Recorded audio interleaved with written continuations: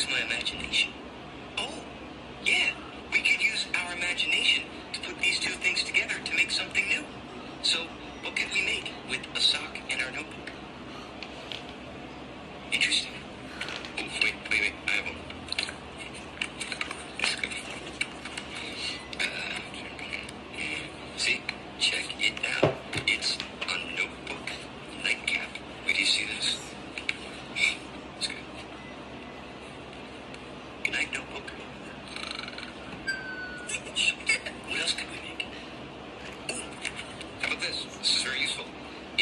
A handy dandy notebook holder.